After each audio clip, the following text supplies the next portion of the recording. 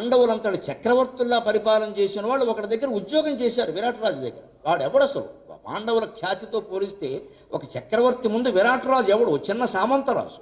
ధర్మరాజు కాళ్ళ దగ్గర నిలబడే యోగ్యత కూడా విరాటరాజుకు లేదు. అటువంటి విరాట్ రాజు దగ్గర ధర్మరాజు చేతులు కట్టుకుని కంకబొట్టుగా ముహూర్తాలు చెప్పుకుని బతికాడు. గద కాదు తెడ్డు చేత్తో పట్టుకుంటే పది మందిని లేపేయగలిగిన భీమసేనుడు నోరు మూసుకుని ముద్దపప్పు ఉండేడు అక్కడ.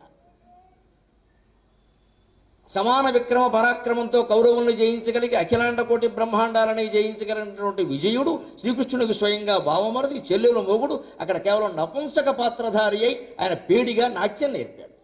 ఇంకోడు గుర్రాల కాపలా కాశాడు ఇంకోడు గోవులు కాపలా కాశాడు. ద్రౌపదీదేవి ఒక చక్రవర్తి ఒక మహారాజు కుమార్తె ఇంకో మహారాజు కోడలు గత్యంతరం లేక దాసీతనం చేసింది. జీవితంలో ఏ దశ వచ్చినా సరే దాన్ని మనం ఉన్నతంగా స్వీకరించగలగాలి. అది విరాట పర్వం ద్వారా మనం నేర్చుకోవాలి. ఏ దశ వచ్చినా సరే. నువ్వు మహారాజు అయినా సరే మామూలు మనిషి అయినా సరే. నువ్వు పెద్ద పరాక్రమవంతుడైన వీరుడైనా సరే లేదా చీపురు పట్టుకుని ఊడిచే పనిలో ఉన్నా సరే నీ పని ఏదో సక్రమంగా చేయి. అంతేకాని పూర్వకాలపు విషయాలు గుర్తు చేసుకుంటూ చీపురు పట్టు ఊడుస్తుంటే ఏమిటమ్మా ఊడుస్తున్నావంటే నా కర్మ అమ్మా ఒకప్పుడు నేను మహారాణి. ఈ డైలాగులు వద్దు. ఇప్పుడు కూడా మహారాణివే. చీపురే నీ చేతిలో సామ్రాజ్యం. ఊడ్చుకో.